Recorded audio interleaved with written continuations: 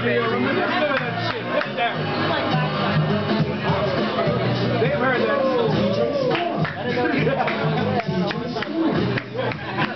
Yeah, no.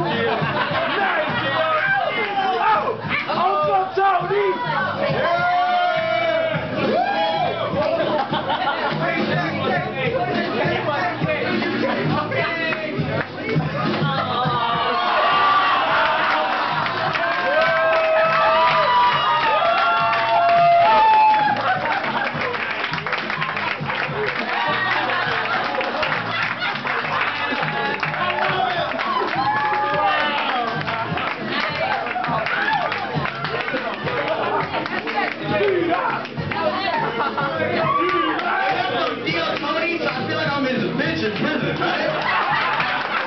You're like, remember that.